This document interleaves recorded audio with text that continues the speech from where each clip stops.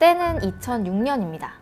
2007년 스위스 제네바에 위치한 유럽 입자 물리 연구소에서 세계 최대 입자 가속기가 완성되면 여기서 생성된 블랙홀에 지구가 빨려 들어가는 건 아닌지 걱정하는 이슈가 있었습니다. 입자 가속기가 완성되고 어떤 일이 발생했을까요? 모두가 아시는 것처럼 지구는 무사합니다.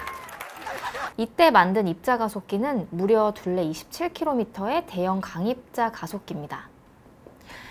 이러한 입자 가속기로 양성자나 중이온을 가속시킨 뒤 이것을 암세포에 쏴서 암세포를 파괴하는 것을 중입자 치료라고 합니다.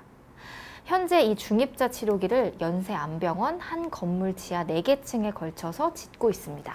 파티클 중입자가 이렇게 이 가속기를 통해서 빙글빙글 돌아서 치료실 쪽으로 들어가는 거거든요. X선 치료 장비는 굉장히 작은 기계로 해도 가벼워서 가능했는데 중입자 같은 경우에는 카본이 굉장히 무겁기 때문에 중입자가 무거울 중자의 중입자거든요. 그래서 무거운 거를 가속하려다 보니까 이게 장비가 조금 어, 큰 게 필요합니다. 그래서 이게 다른 거보다 굉장히 규모가 크고 실제로 치료실은 조그만데 그 뒤에 숨겨진 공간은 굉장히 이렇게 넓게 차지를 하고 있어요. 중입자 치료는 탄소 입자를 이용한 방사선 치료입니다. 양성자 치료에 사용되는 수소 입자보다 12배 무거운 탄소 입자를 빛의 속도의 70%까지 가속해 암세포만 명중함으로써 암세포 DNA 조직을 파괴하는 치료 기법입니다. 기존 방사선 치료에 비해 두세 배 높은 치료 효과를 보이기 때문에 난치암을 극복하기 위한 꿈의 암 치료기라 불리고 있습니다.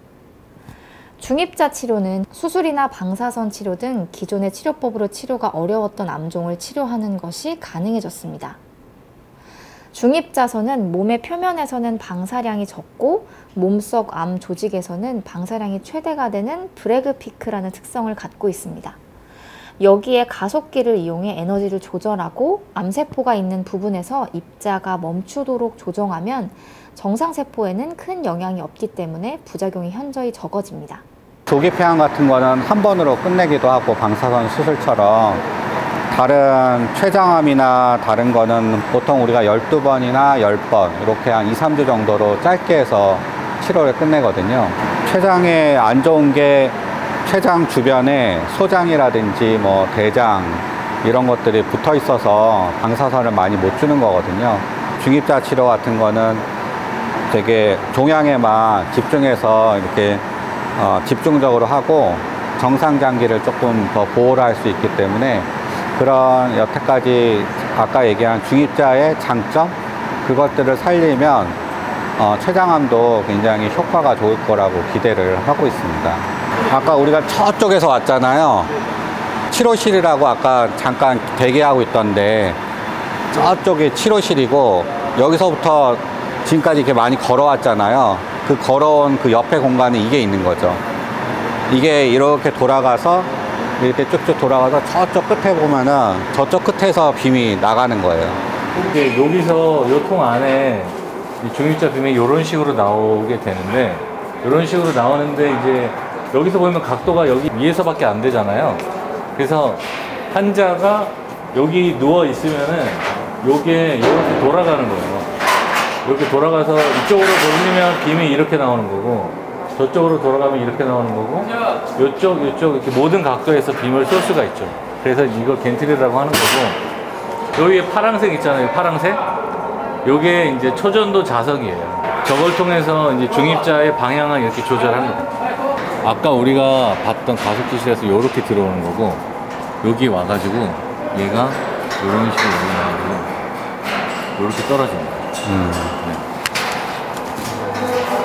그래서 이제 나중에는 얘가 이렇게 360도 이렇게 돌거든요. 돌면서 치료하게 됩니다. 돌때 그냥 통이 다 도는 거죠, 이게.